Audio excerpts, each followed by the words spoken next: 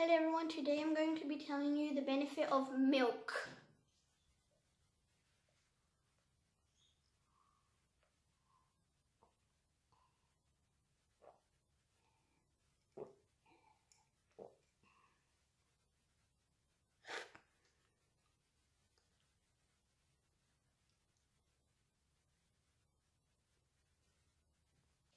Yummy!